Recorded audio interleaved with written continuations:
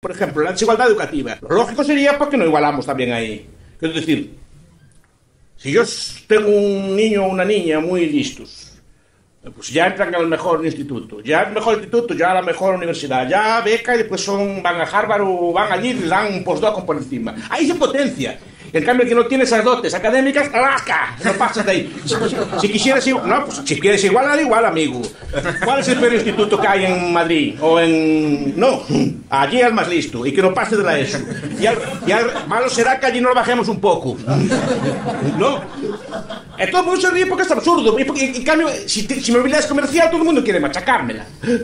No, es lo que, es lo que quiero decir yo. Si, si, mi, si mi habilidad es ganar dinero, vender, comprar carne de cerdo, maíz, ah, ah, por él, que no gane más de esto, que no pueda ejercer su habilidad. En cambio, porque quien elabora el discurso son personas que su capacidad es discursiva, pero no la de ganar dinero. Entonces inciden en la desigualdad económica, que es la que ellos no tienen, no la, no la desigualdad de, educativa que quieren que se potencie porque es donde ganan ellos. Por eso también están interesados en la redistribución, porque ahí ganan ellos, porque son ellos los que redistribuyen.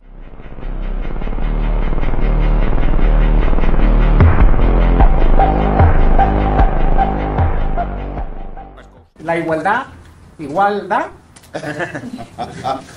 A ver, a mí no, a ver, obviamente no, no es un concepto que me preocupe mucho. A mí me importa cómo está el más pobre. No me, no me, no me importa las medidas de igualdad, segundo, ¿para qué queremos saber si hay desigualdad o no? ¿Es una, es una pregunta para retórica o no? Pero ¿para qué queremos saber si hay desigualdad o no? Si sabemos que Camerún es más eh, desigual que Botswana o España que Alemania. Yo digo una cosa para intervenir. Si no, ¿para queremos saberlo?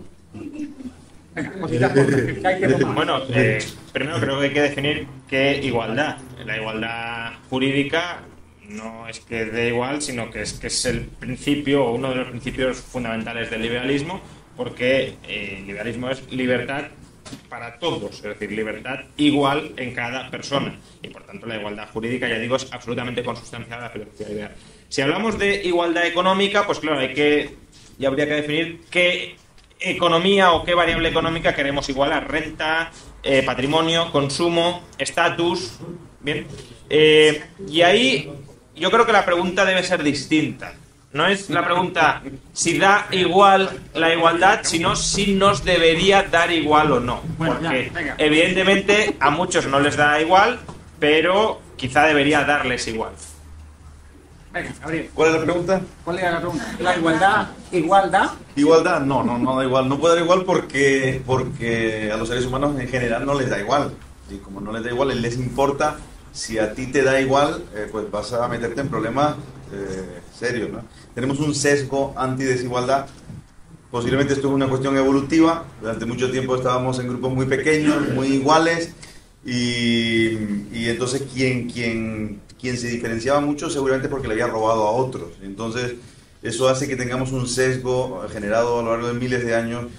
Y ese sesgo está ahí, y ignorarlo creo que no nos viene bien porque va a ser utilizado en contra de la libertad. Entonces creo que igual no da. Sí, pero, pero justamente por eso creo que debería ser si da igual o si debería dar igual. También tenemos un sesgo anti-extranjeros eh, y está ahí y debemos evidentemente tenerlo en cuenta. La cuestión es si debemos articular políticas públicas en función de ese sesgo anti-extranjeros o no.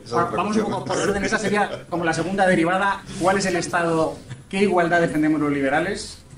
de por qué nos atacan, describir por qué a la gente le importa tanto la desigualdad, repetir aquello que decimos a veces de, bueno, lo que importa es la pobreza, eso, mm, ese eslogan nos beneficia o no. Lo que está diciendo Gabriel y os, os, quiero provocar con eso. Es obvio que a nosotros, tú has empezado diciendo, a mí no me importa la desigualdad.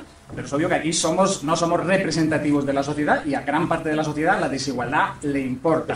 Luego, ¿cómo contestamos a eso? Primero, una cosa que habría que ver es ¿Cuánta desigualdad hay? Entonces, Juan Ramón, tú probablemente querrás comentar algo del informe que hicimos, eh, no, ya no me acuerdo si fue hace unos meses, un año, del Instituto Juan sobre la desigualdad en España. ¿Hay tanta? ¿Qué tipos de desigualdad económica hay? ¿De ingresos, patrimonio, de consumo? ¿Es todo un escándalo? ¿Cómo va evolucionando? Gabriel, quiero que me cuentes también un poco una perspectiva internacional. Un país como Guatemala, que es extremadamente desigual entre, digamos, las etnias indígenas y las clases pues, más, uh, más blancas, más occidentalizadas. ¿eh? Bueno, eh, primero que no hay un, óptimo de desigualdad. Es decir, no sabemos si decimos el nivel de desigualdad en España es este. ¿Es mucho? ¿Es poco? No hay una cifra que digamos es el objetivo al que tenemos que llegar. Ningún científico social partidario de la igualdad ha dado con esa cifra y por tanto es difícil enjuiciar si es mucha o es poca. Lo único que podemos saber es si es más o menos que la de nuestros vecinos.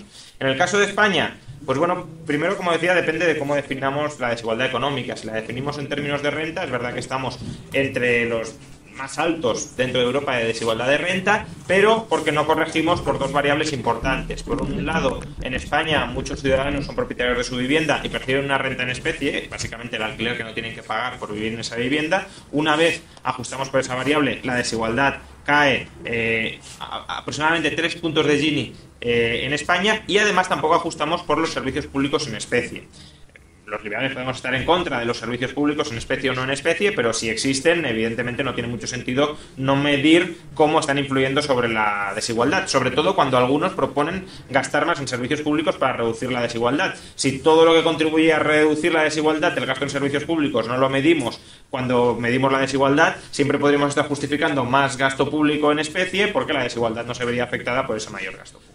Eso ya sería desigualdad o sea, en consumo. O sea, esa renta en especies en consumo. Bueno, sí, lo puedes considerar consumo, pero también renta, porque al final, la renta o la consumes o la inviertes. Entonces, si te dan renta en especie, que es consumo, también es renta.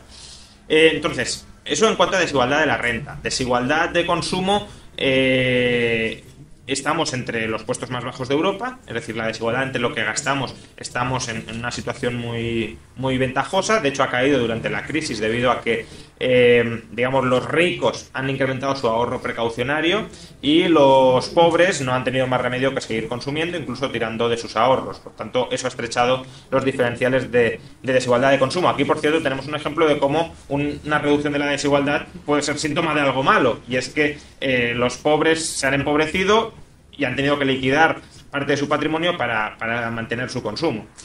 Y luego tenemos la desigualdad patrimonial, desigualdad de riqueza. España, de nuevo, está entre los puestos más bajos a nivel internacional en cuanto a desigualdad de riqueza, pero es verdad que durante la crisis ha aumentado muy sustancialmente. Eh, ¿Por qué ha aumentado mucho la desigualdad de riqueza durante la crisis? Porque los españoles estamos entre los que tenemos una menor desigualdad de riqueza porque la gran mayoría de españoles son propietarios de vivienda. El problema es que solo son propietarios de vivienda, con lo cual eh, esta crisis se ha caracterizado por ser una crisis inmobiliaria, por una deflación de activos inmobiliarios. Si los activos inmobiliarios caen y el resto de activos se revalorizan, aquellas personas que diversifiquen más su cartera de activos, como es el caso de los patrimonios más altos, verán incrementarse sus patrimonios durante la crisis y en cambio los que estén concentrados en patrimonios inmobiliarios lo verán caer y eso es lo que ha ensanchado la desigualdad de riqueza. Gabriel, Miguel Ángel, más a nivel descriptivo. ¿Cómo ves, por ejemplo, Guatemala como contraste? Eh, muchísimo más desigual que, que, el- que España, por ejemplo, ¿no? Eh, la, la cuestión es cuál es el origen de esa desigualdad. Y es un Y- problema ahí. Es- y la gente problema- se queja tanto como se quejan ahora aquí. No, no, la gente se queja muchísimo menos que aquí. O sea, ahí hay mucha más desigualdad más. y la gente se queja mucho menos. Eh, la cuestión yo creo que tiene mucho que ver con lo que se perciba como desigualdad eh, ilegítima, eh, injusta. Y, creo que en general cuando la perciben como desigualdad merecida, o que alguien se hace muy rico y se distancia merecidamente, no, no veo que en países como Guatemala, en Centroamérica en general, que haya que, se note esa, esa crítica a ese tipo de desigualdad. Sin embargo, por ejemplo, hay, hay desigualdad que tiene que ver con, con barreras arancelarias, eh, con, bueno, con, con diferenciales de precios muy, muy grandes que, que vienen de leyes que han pasado para proteger a ciertos círculos. Entonces, ahí es donde sí, donde sí hay mucha crítica a la desigualdad. Y mm, recientemente, justo veníamos hablando en su momento, en los últimos años, Leda Cosmides y, y Toby John Tubby. John Tubby. John Tubby han estado trabajando esto, ¿no? Han estado trabajando la cuestión de si hay diferen- si la gente ve de modo diferente o no el- el- la desigualdad según se perciba justa o injusta. Y parece que sí, parece que, que, que la gente cuando la percibe justa, más o menos la tolera. Es cuando la percibe injusta. Entonces posiblemente en, en, digamos, en lo que vemos eh, en España es ya parte de la estrategia política de hacerla percibir de una forma o de otra. Creo que es un campo muy interesante. Daniel Schneitzer, que es eh, discípulo de, de Lida, eh, ha estado trabajando en estudios internacionales sobre el asunto y da la sensación de que al final eh, tiene mucho que ver con el juego, político, el juego político de hacerla parecer justa o injusta, lo que hace que la sociedad reaccione o no contra la desigualdad. Sea, que la bandera de la izquierda siempre ha sido la igualdad. Antes tenían un poco la excusa de la pobreza, el mundo iba muy mal, en la medida en que el capitalismo va generando riqueza, ahora se están abrazando más a esa igualdad. Aunque los pobres no sean tan pobres, insisten en que hay todo tipo de desigualdades y siempre añaden que hay que corregirlas. O sea, tú añades el- el- la idea, ahora estás eh, enseguida con que los economistas no tienen un óptimo de desigualdad, aunque a veces lo intentan. Dicen qué desigualdad es mejor para conseguir un PIB mayor, cuáles son los incentivos adecuados, si se está destruyendo capital humano por no tener suficiente formación la gente y no poder aprovechar esas desigualdades. Una cosa más solo, allí en, en Guatemala los que sí están todo el día eh, con la bandera de la desigualdad, de todo tipo de desigualdad, eh, son las ONGs, ¿no? Sí, sobre todo ONGs radicales de izquierda, que curiosamente eh, pues funcionan con el dinero de todos ustedes, con los impuestos de todos, la cooperación española manda el dinero para allá y ellos son los que, pero te vas a los pueblos, a los que ellos dicen defender y les preguntas y la gente esa no tiene ningún problema con el tipo de desigualdad eh, contra el que luchan estas ONGs. Pero dirán que están alienados o que están manipulados o que no son conscientes de su propia opresión, ¿no? Ah, ahí O- llegan, ahí llegan. Pues tienen, hombre, claro. tienen, tienen tantos siglos detrás de opresión colonial Que no se dan cuenta, que no se dan cuenta, ¿no? Perdón. Miguel Ancho. A ver, que, que depende de qué desigualdad estemos hablando, porque desigualdades hay muchas y no todas se quieren corregir. Veamos, por ejemplo, la, desigu- la desigualdad muchas veces deriva de condiciones previas. Por ejemplo, pues desde una capacidad enorme para comerciar, una capacidad pues de, pues de tener, por ejemplo, unas dotes artísticas que te haga pues, ser un actor de cine y ganar mucho dinero, o jugar bien algún deporte y ganar mucho dinero. O sea, tienes unas habilidades previas. Y eso no es lo que nos quiere igualar. Es más, algunas igualdades no se quieren igualar, sino que se potencia la desigualdad. Porque no es la desigualdad que le conviene al discurso. Por eso yo, no estoy cómodo con el discurso de desigualdad. No estoy cómodo porque es un discurso que, no planteamos nosotros y que no lo plantean a nosotros en, en términos que ellos quieren. Por ejemplo, la desigualdad educativa. Lo lógico sería porque no igualamos también ahí. Es decir, si yo tengo un niño o una niña muy listos, pues ya entran al mejor instituto, ya el mejor instituto, ya a la mejor universidad, ya beca y después son, van a Harvard o van allí y dan un postdoc por encima. Ahí se potencia. En cambio, el que no tiene esas dotes académicas, ¡alaca! No pasas de ahí. Si, si quisieras no, pues si quieres igual, igual, amigo. ¿Cuál es el peor instituto que hay en Madrid? O en. No, allí es más listo y que no pase de la ESO. Y al, y al- malo será que allí no lo bajemos un poco. ¿No? Eh, todo el mundo se ríe porque es absurdo. Y en cambio, si, si mi habilidad es comercial, todo el mundo quiere machacármela. No, es lo que, es lo que quiero decir yo. Si, si, mi, si mi habilidad es ganar dinero, vender, comprar carne de cerdo, maíz, ah, ah, por él, que no gane más de esto, que no pueda ejercer su habilidad. En cambio, porque quien elabora el discurso son personas que su capacidad es discursiva, pero no la de ganar dinero. Entonces inciden en la desigualdad económica, que es la que ellos no tienen, no la, no la desigualdad de- educativa que quieren que se potencie porque es donde ganan ellos. Por eso también están interesados en la redistribución, porque ahí ganan ellos, porque son ellos los que redistribuyen. Porque Milanovic y estas candidatas que nos gusta y tanto tan fina, porque- ¿no? O Atkinson, que es el maestro de Piketty. El, el libro de Piketty de Desigualdad es todo un libro completo, hay un montón de políticas, impuestos a, a- una, una dotación, una renta básica a los 18 años, después un impuesto de capitalización, de capitalización vital, unas cosas así, ¿para para, para qué? Para repartirlo él después. Porque ahí en ese sitio se reparte poder, porque quien reparte es eso. No estoy cómodo con ese concepto. Y incido mucho en ese aspecto. Me interesa mucho que la gente tenga de comer, que la gente tenga buena vida. Pero no porque tenga igual. Vale, entonces estás planteando... Igual, porque es un concepto matemático. Y a mí no me gusta. Hay un problema que tenemos las ciencias sociales es que se introducen conceptos acríticamente de las ciencias físicas o de las ciencias naturales. Acríticamente. Entre ellas el de igualdad. Igualdad es una igualdad. Pero si somos seres humanos eh, es porque tenemos decisiones desiguales. Yo, yo, por ejemplo, decidí llevar una vida, pues yo cuando, tenía, cuando era joven pude optar pues, pues una carrera pues, más lucrativa monetariamente o una carrera que tuviera más tiempo que me dedicaba a estudiar. Pues escogí eso. Ahora no puedo decir que yo no gano como un, como un inversor en bolsa o que no gano como, como otra cosa. No, porque lo escogí yo. Pero yo no me quejo de eso. Y a mí me preocupa también que la gente tenga para vivir. Yo, si me metí en esto además, en esto del liberalismo, es por defender a los pobres, no por defender a los ricos. Siempre, porque veo que es el sistema en el que los pobres mejor viven. Por eso defendí siempre este sistema. Vale, pero entonces mucha gente que tiene la bandera de los pobres habla de la igualdad de oportunidades, que aún no hemos usado la expresión. Rayo nada más empezar ha dicho, oye, los liberales, ¿qué es lo que defendemos? Y yo creo, Gabriel dice que yo digo, nosotros creo que es lo que defendemos una, una igualdad jurídica, que las reglas sean las mismas para todos y no solo las mismas, sino que además funcionen, ¿no? Y entonces creemos que esas son las leyes de la propiedad privada, no agresión, cumplimiento de los contratos y esas cosas. Pero mucha gente que también es liberal o tiene simpatías añade, joder, pero sin libertad, sin igualdad de oportunidades, el mercado va a generar unas desigualdades enormes que no sé si moralmente son tolerables, o sea, a la gente le sale aquello de que es injusto. El hijo del rico lo va a tener todo más fácil. Va a poder ir a una mejor escuela, a una mejor universidad, va a tener mejores amigos, va a tener mejor capital social. Eso intuitivamente, moralmente, te parece injusto. porque el hijo del pobre empieza como mucho más atrás? Entonces, ¿qué hacemos? ¿Defendemos esa igualdad de oportunidades o no? confiamos en que el mercado o asociaciones caritativas privadas contribuyan un poco a igualar esas oportunidades o usamos el Estado para redistribuir servicios o redistribuir renta. Mi contestación es muy breve, es no. No, no entraría ahí, sencillamente porque la alternativa es mucho peor. No, no porque sea maravilloso eh, todo tipo de desigualdad, sino que la alternativa es mucho peor. y creo que además la public choice ahí nos ha ayudado mucho a entender que incluso lo que se ve relativamente bonito en el papel, cuando lo pones en marcha, va a generar otro tipo de desigualdad. ¿Y quién es quien tiene que venir a decirnos qué tipo de desigualdad es mejor? Eh, así que no. Yo creo que hay, hay una trampa cuando se plantea, ¿es justo que el hijo de un rico tenga más oportunidades que el hijo de un pobre? Justo no es, pero tampoco es necesariamente injusto. Es decir, no todo lo que no es justo es inmediatamente injusto. Puede ser una cuestión que no atañe a la justicia. Eh, y hay cuestiones que no atañen a la justicia o que son potencialmente justas o injustas según cómo se desarrollen más adelante.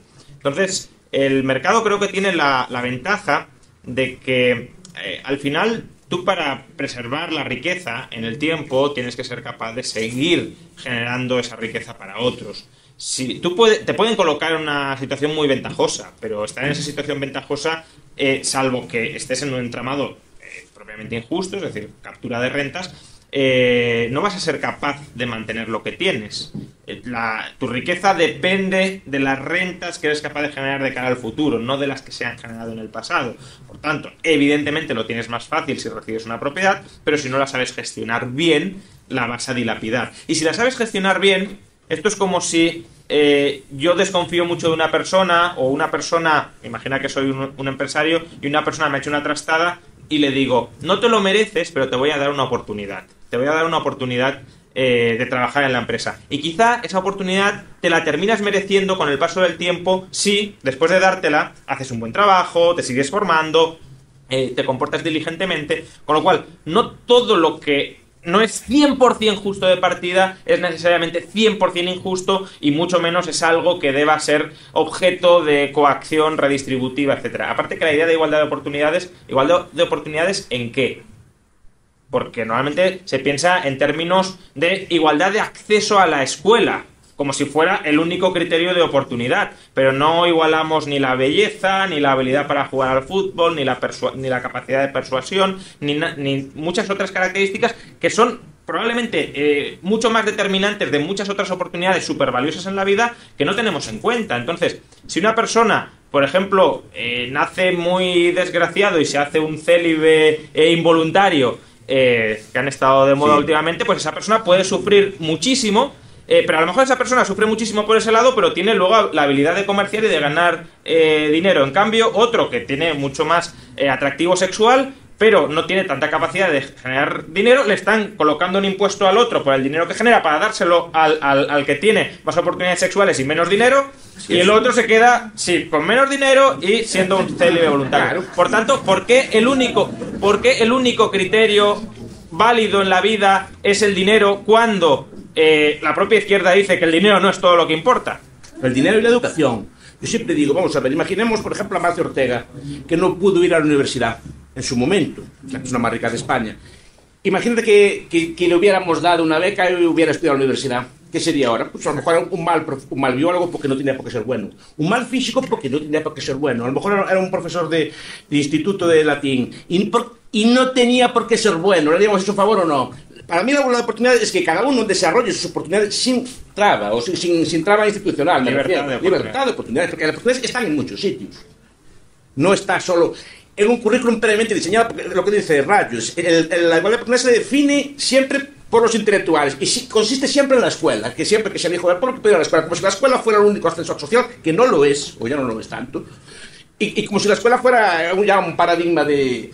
A ver, la, la sociedad española hace tiempo que está alfabetizada, incluso ya a niveles más elevados, sigue habiendo desigualdades igual. La, la- la- educación puede, es una cosa muy importante, pero no es el único factor de ascenso social. Pero precisamente están atacando incluso tanto en ese sentido que reconocen que la escuela no es ya ascensor social, pero precisamente porque es que las escuelas están segregadas. En los barrios pobres van los niños pobres a una escuela pobre, se juntan, entonces sus amigos ya son pobres y los profesores probablemente son- son de mala calidad.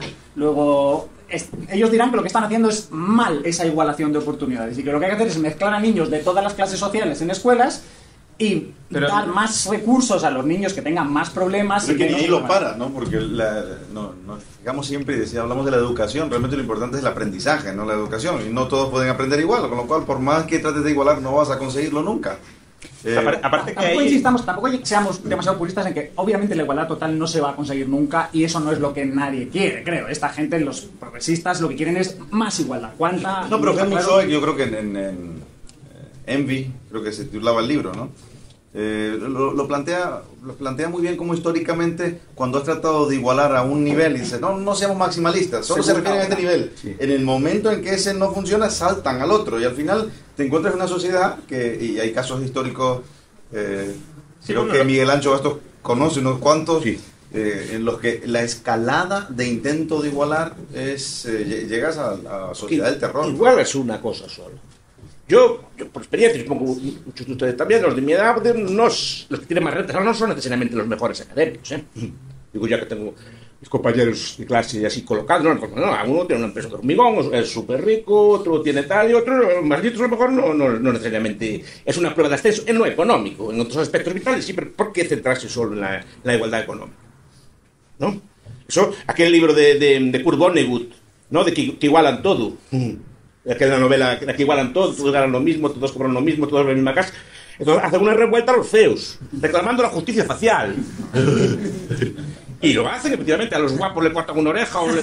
No, para igualar, claro, es una, es una Que distribución. eso, que eso, eso ya se está haciendo. ¿eh? Hay filósofos morales que están diciendo sí, los sí. currículums deben ser sin foto no, y sin nombre, no solo para diferenciar hombres y mujeres y razas o etnias por el apellido, sino para no ver si una persona es guapa y fea y que no la contrates según si es guapa o fea. Sí, es que aquí también es interesante entrar, a lo mejor era un tema posterior, en hasta qué punto eh, la, igualdad justifica conculcar otros derechos eh, básicos. Por ejemplo, imaginemos que efectivamente la política de, de juntar forzosamente a niños de distintos barrios contribuyera a reducir la igualdad, pero ¿significa eso que está justificada ese tipo de intervención? Hace unos días salió eh, un informe del Banco de España sobre la desigualdad en España y uno de los resultados, yo creo, más importantes de ese informe es que explicaba la, la desigual- el aumento de la desigualdad de renta durante la crisis debido a que eh, existía una alta correlación entre la formación del cabeza de familia y, el y su cónyuge. En otras palabras, que los universitarios se tienden a casar con universitarios, los no universitarios con no universitarios. Emparejamiento selectivo, Eh, eh, exacto, entonces- pasando en todas partes. Exacto, entonces un tipo de intervención muy potente para reducir la desigualdad sería matrimonios forzosos entre personas de distintos orígenes sociales. Ahora, ¿justificaríamos este tipo de intervención que sí tendría desde luego un efecto muy importante en términos de reducir la desigualdad? Evidentemente no, porque veríamos que es una conculcación frontal de nuestras libertades. Entonces, quiero decir, hay que poner el problema de la desigualdad en su justa medida y eh, tanto cuánta hay, qué relevancia tiene y luego, aunque sea relevante, ¿es más importante que la libertad o no? Es que, es que en apuntando esa cosa, creo que no sé si es Atkinson, Milanovic o uno de estos así, dice que precisamente la incorporación de la mujer al trabajo lleva a una mayor desigualdad. Porque, por lo que dice, por la homogamia, porque se casan la gente con, con gente de su mismo estatus, como solamente trabajan las mujeres y trabajan con, se casan con hombres de alta renta, al final la desigualdad incrementa. Más, dice Milanovic, no lo digo yo, más que cuando pues el hombre, digamos, trabajaba en, y la mujer no, que es que había, una- había cierta redistribución de renta. Entonces, que por ser rentas, como dice Rayo, habría que prohibir también a, que las mujeres trabajaran, para igualar. ¿No?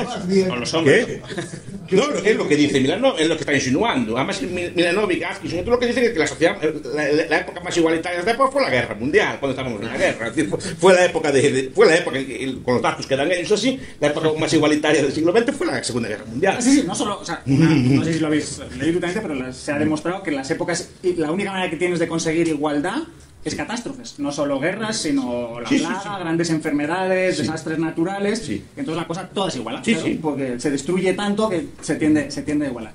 Y entonces el problema, el panel no solo era sobre la desigualdad, sino la desigualdad hacia el futuro y como problema de futuro.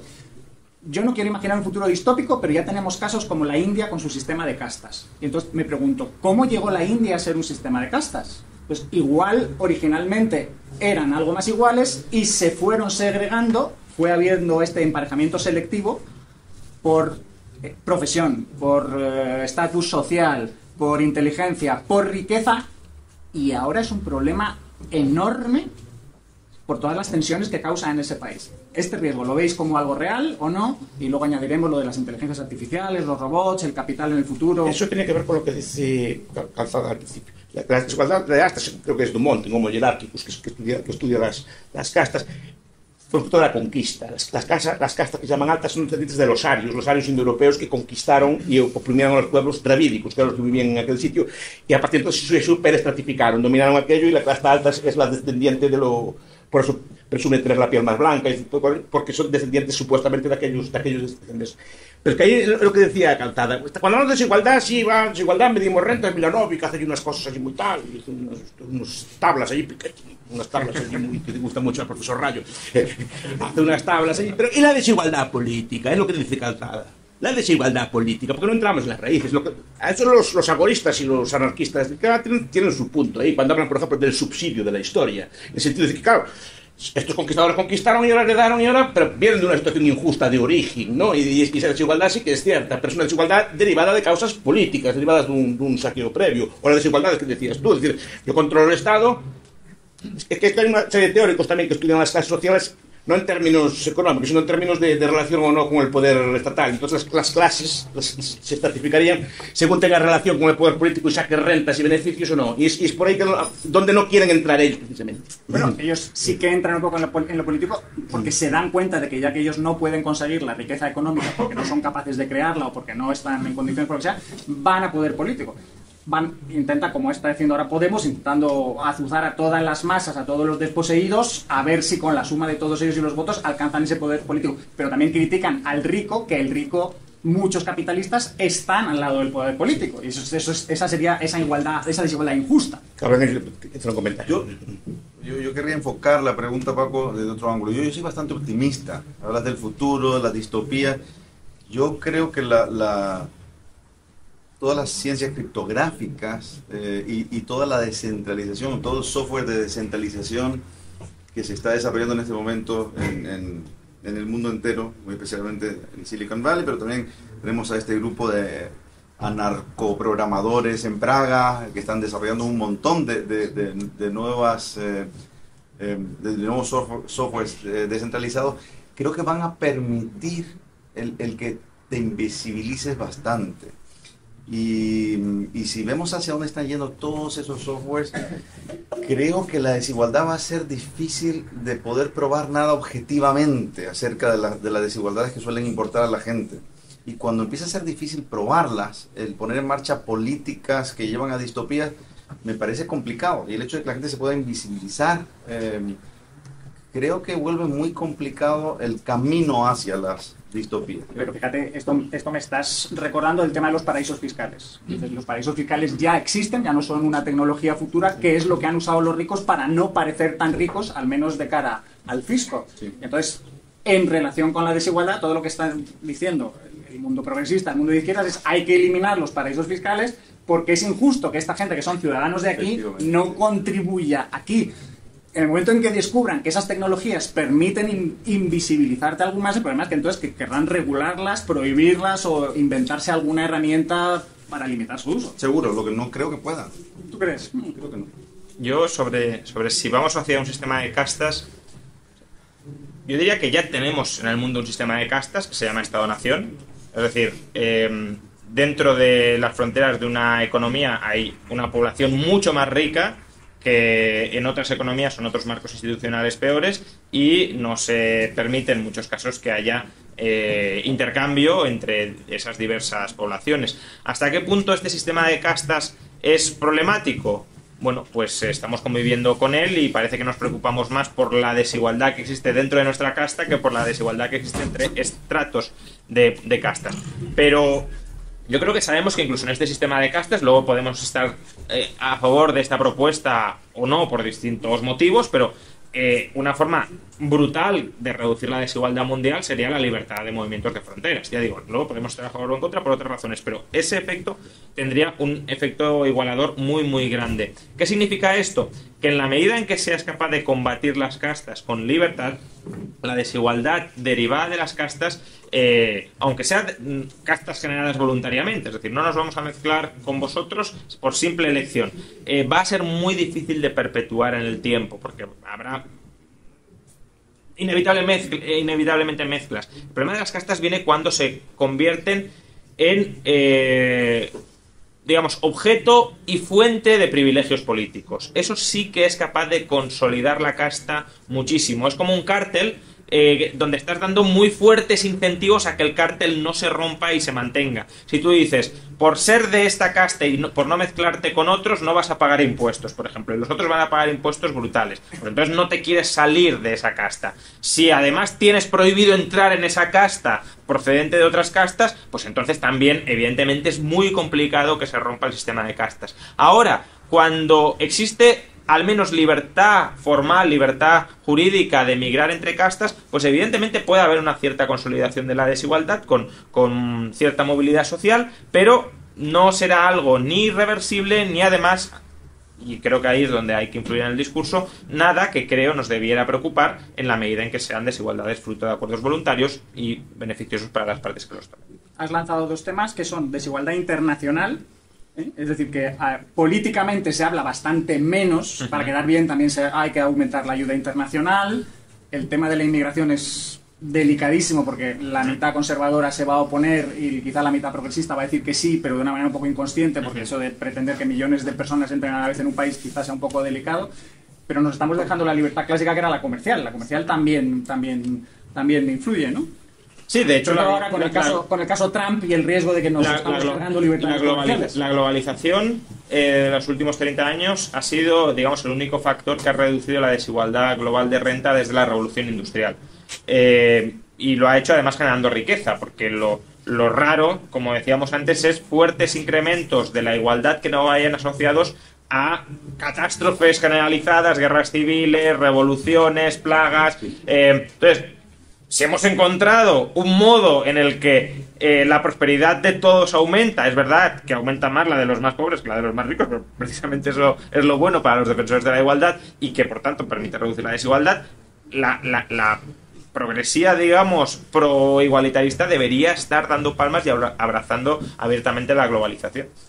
La globalización e incluso el capitalismo, porque hay gente que habla de globalización, pero no capitalista. Sí, sí. Es decir, una altermundialización, sí, mm, hagamos El- el un- modelo actual. Un único, un único pueblo, Incluso, pero in- distribución incluso- a escala incluso internacional. diría más la globalización neoliberal que estamos viviendo ahora, porque tampoco es la actual una globalización plenamente liberal, pero si este modelo más o menos está consiguiendo crecer y, y reducir la desigualdad, pues se deberían volver neoliberales todos. Más que cambia la forma de la desigualdad. La desigualdad ahora es de bienes de posición. Eso, eh, de mis lecturas marxistas de la, de la, de la universidad, me acuerdo de un libro muy bonito de Fred Hirsch, que se llamaba Los límites sociales del crecimiento, que, que explicaba la imposibilidad de la igualdad total. Vale, los rusos todos tienen una casa, pero solo un ruso vive en el Kremlin. ¿No? solo uno vive en el Kremlin, o todos tenemos una casa igual de buena, pero solo uno está en primera línea de playa. ¿No? Entonces, son bienes que por definición no son igualables. O yo tengo un Picasso en la casa y el tuyo es una copia. Ese tipo de cosas son bienes que no son. Él lo usaba para este tipo de cosas, pero. Y, y algo de eso hay, que buena parte de la desigualdad, por lo menos tal como la discutimos, y eso lo escuché una vez al profesor Radio también, es derivada de eso, ¿vale? Yo tengo una casa pues, en un barrio de Madrid, de 100 metros cuadrados. Usted la tiene en el, en el centro de Madrid, la zona más fina. No vivo yo mejor que usted. Usted vive pues, más estatus, presume más, tiene alguna más gente, alguna cosa, pero no vive sustancialmente o 10 veces mejor que vivo yo.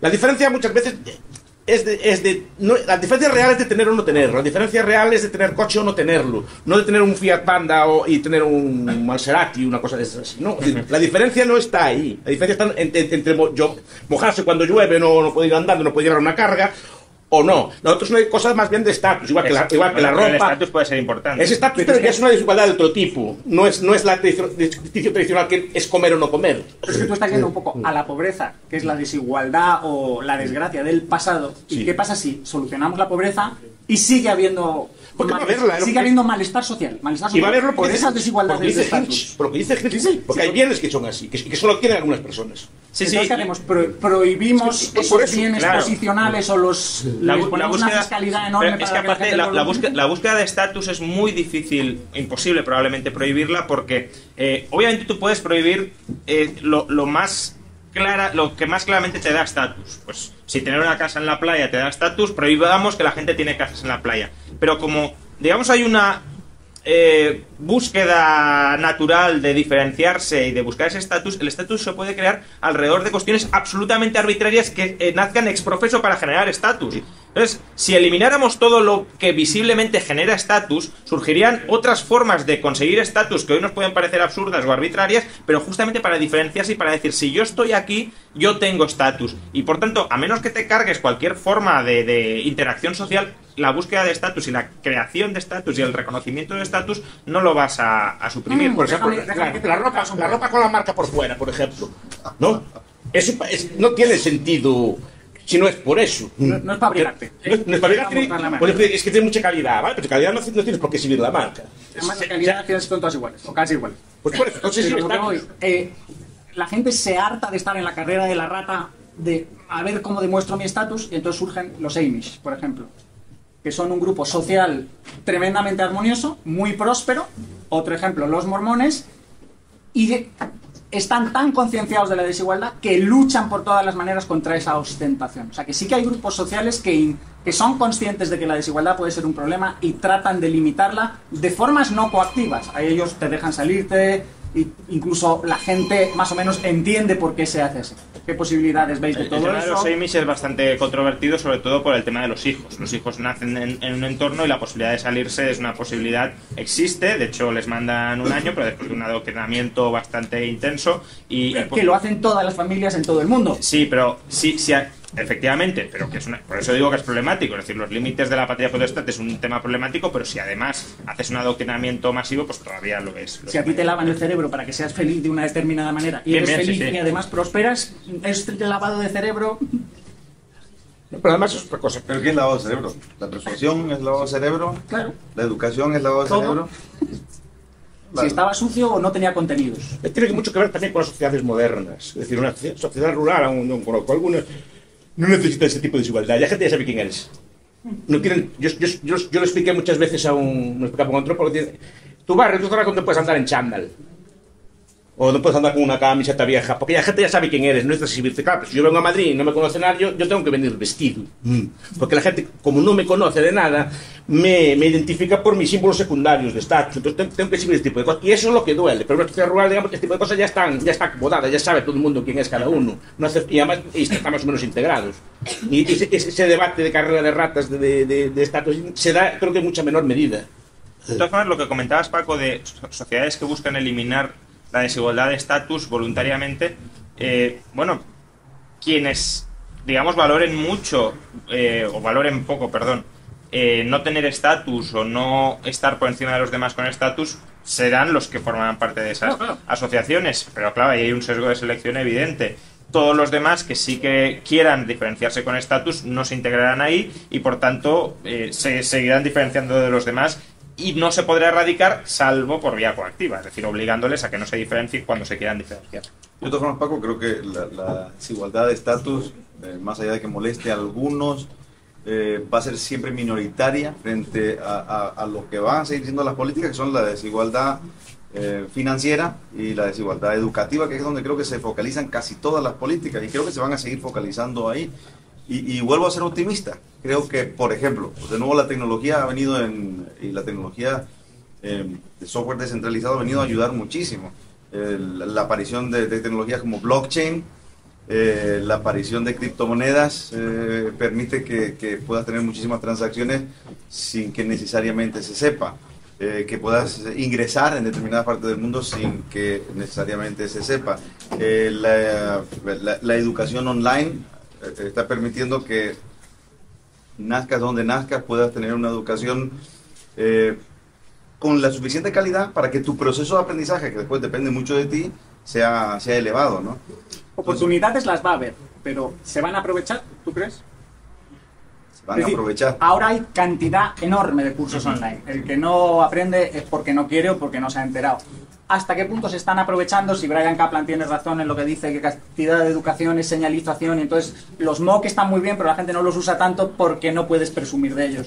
Mira, mira los, los TED Talks, lo que la gente lo ve, es, es Pero impresionante. también son actos sociales y También. conectas un poco con Bueno, pero ellos. el, el acto social, ¿cuál? El de ir al TED Talk. y relacionarte con gente El de que es- verlos la gente del TikTok y el de es de un- comentarlos. la gente de TikTok es de un cierto nivel o sea el TikTok ya, man- ya marca un estatus yo he estado en el TikTok y me he codeado con gente la entrada al TED no te digo lo que cuesta porque son decenas de miles de, de dólares al evento principal de California o sea hay una cola de espera espectacular y obviamente todos lo pueden ver en su casa luego si quieren estar ahí es por algo dis- distinto del contenido sino más que la relación social y el seguir mostrando estatus No, lo que te quería decir es que la política, las políticas de igualación en esos dos campos, que para mí son los principales y van a seguir siendo los principales, eh, tienen cada vez menos fuerza.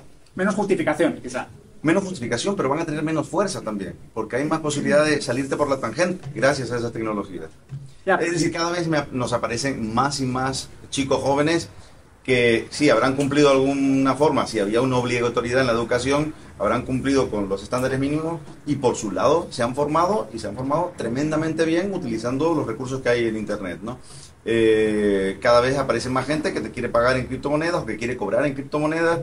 Eh, cada vez aparecen más organizaciones como Open Bazaar y otras en las que realmente te esfumaste, o sea, desapareciste. Nadie sabe si has comprado o no has comprado determinadas cosas. Y, y eso están ahí, no, no es una hipótesis, están ahí hoy, ¿no? como posibilidad es obvio, pero que muchos lo van a ver como eso es hacer trampa. Ah, sí. Entonces tú estás Pero diciendo, ¿cómo evitas que las... vale, el Estado siempre encontrará alguna manera de manipular eso. Ahora, ahora tenía, había otra charla sobre cómo los rusos, los hackers rusos, habían intentado intervenir. La sociedad, mucha gente es muy manipulable. Venga, los últimos minutos lo quiero para el futuro más tecnológico, inteligencias artificiales, plantear la posibilidad de la renta básica. La, primero una pregunta, hay algo que dicen todos, y Juan Ramón, esto tú me lo puedes contestar. En los años 80, con la revolución liberal, el capital y el trabajo se desacoplaron, y cuando antes las ganancias de, de productividad se repartían igualitariamente, ahora no. Ahora, desde entonces es el capital el que se lo está llevando todo. Entonces los trabajadores se, se quejan de que es que les están, se están apropiando de la plusvalía, a la forma marxista antigua. ¿Qué hay de verdad en todo esto? Eh, vamos a ver, la- el aumento de la desigualdad sobre todo no se está dando por el desacople de rentas de trabajo y de rentas de capital, sino porque dentro de las rentas del trabajo los muy buenos, los que tienen una formación muy alta, van ganando mucho más y los menos buenos están viendo cómo sus rentas se estancan. En parte están viendo cómo sus rentas se estancan por la globalización y porque están compitiendo directamente con tramos salariales internacionales muy bajos y muy abundantes, como puede ser el empleo chino, y en parte también por la inversión en capital y la mecanización de puestos de trabajo que no generan un alto valor eh, añadido. Lo que pasa que parte de este eh, incremento del peso de las rentas del trabajo dentro del PIB se debe a lo que podríamos llamar sesgos estadísticos. Un sesgo estadístico es que, por ejemplo, se cuenta como renta del capital el hecho de tener una casa en propiedad y vivir en ella. Eso se te imputa como una renta del capital y esa parte tiene un peso creciente dentro del PIB. Otro sesgo puede ser la depreciación del capital. Si hemos sobreinvertido en una economía, aunque hayamos dejado de generar nueva renta con ese capital se imputa automáticamente una depreciación que, eh, si hay mucho capital invertido, será una renta muy alta. Yo simplemente como, como dato, eh, si medimos la evolución del peso de las rentas del trabajo en España desde el año 2000 al 2014, veremos que las rentas del trabajo han perdido peso dentro del PIB en España. Ahora bien, si eliminamos estos dos sesgos, el sesgo de las rentas inmobiliarias imputadas y el, sesgo de la depreciación del capital, las rentas del trabajo han ganado alrededor de dos, entre 2 y 3 puntos de peso dentro de ese PIB corregido. Por tanto, eh, sí está pasando, es lógico que pase, pero eh, está pasando menos de lo que se dice. Una de las ideas que planteas, la plantea Tyler Cower, el average is over, el promedio ha acabado, y entonces tienes que competir para hacerte muy bueno, y una de las cosas puede ser la educación, y sobre todo educación en aprovechar el capital, en aprovechar las nuevas tecnologías. Supongo que eso insistís en el sector educativo, decir, ya no se trata de ser un abogado de los de antes que se estudiaba la ley de memoria, sino, oiga, ¿qué inteligencias artificiales o qué herramientas se están aprovechando? Que eso al final es capital, bienes de capital precisamente pones ese ejemplo, en enero la Marroquín va a cambiar por completo la Facultad de Derecho, que va a pasar, a ser, eh, va a, pasar a ser una, una, facultad en la que se estudian sistemas del derecho independientemente de las leyes y donde sobre todo los estudiantes colaboran muchísimo en resolver problemas utilizando tecnología. Van a tener el, el, eh, Law Garage, creo que le llaman, donde van a estar todo el tiempo viendo cómo utilizar las tecnologías para resolver problemas jurídicos. O sea que claramente eh, estamos insistiendo en eso y creo que, que, por ahí van las cosas. Pero no veis un apocalipsis de la tecnología, todo lo que está viendo, que va a haber clases de superhumanos y los demás subhumanos, la película Elysium, nos vamos a ir a vivir a otros sitios y los pobres se van a Para quedar... Para superhumanos ya te tenemos a ti, Paco. venga, venga. Eso quien lo, quien lo toca, ya lo él dijo hace, mucho, hace, unos cuantos años, fue Kurt Vonnegut, una novela que se llama La Pianola, que narra también una especie de sociedad hipertecnificada, no, todo el mundo cobrando renta básica, hay una élite de ingenieros y sabios y así como Paco, eh, eh, dirigiendo el resto. Es decir, al final todos, todos iguales, pero al final él, él, lo pinta como una sociedad horrible. Yo creo que la desigualdad no, no va a disminuir, simplemente va a cambiar la forma en que se, en que se expresa. Hablamos antes del mundo digital, ahora la competencia es por influencers, somos influencers, somos, somos youtubers, a ver quién tiene más votos y likes. ¿Y, y esos, esos estatus? Es estatus, claro que es estatus. Estatus monetizado. Y monetizado después, es que no monetizable, ¿no? Sí. Ese tipo de votos puede estar de otro modo. Y, y, y, como decía el viejo Veblen, que a mí es un libro que me gusta mucho, la teoría de la clase ociosa, en formas de consumo. Es decir, eh, la distinción no es comer o no comer, también Pierre Bourdieu, que estudió estos temas, no la distinción. La, la distinción no, no es tener, sino este señor mira cómo sabe de vinos y sabe distinguir un qué es, sabe un... Toma, un. Como el perro capitalista. No, eh, o, toma, o sabe consumir, sabe comprar de arte, o sabe comprar de libros, o sabe comprar determinadas cosas. Es, está ahí la distinción. No en consumir carne o no, sino qué tipo de carne, qué tipo de vino, qué, dónde comerlo, cómo comerlo correctamente con el ritual los señores inventan los japoneses con los ritos del té y cosas así para, para distinguir. O sea, es una cosa, yo creo que va a ir por ahí, pero al ser humano le gusta, le gusta distinguirse. No sé si es propio de la especie o así o sí, sabes tú para formar grupos. Va a fardar. Va a fardar.